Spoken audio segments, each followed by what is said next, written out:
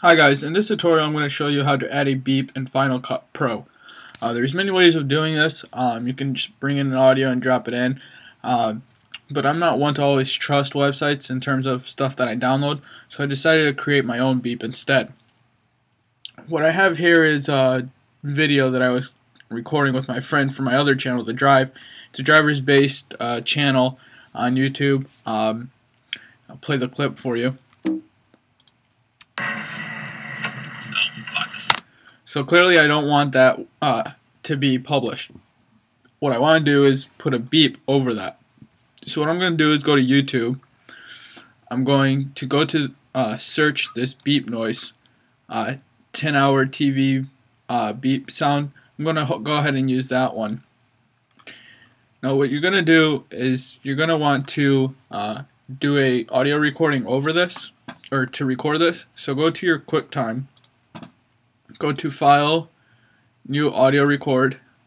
You're going to start recording, uh, you're going to start playing this, and then record it.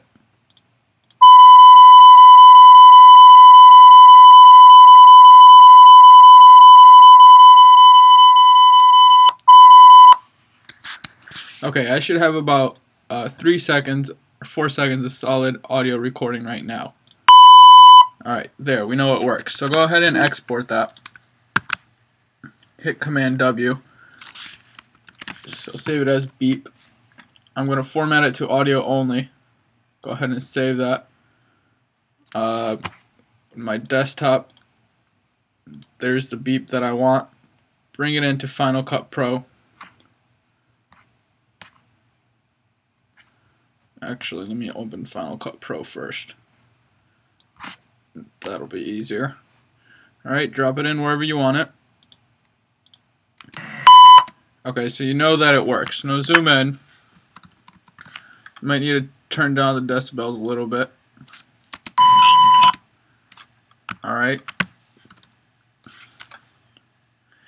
And now detach the audio from uh, your clip. Right click the clip and hit detach audio. And then find out where uh, the audio that you want to delete starts. Uh, Looks like it's going to be right there for me.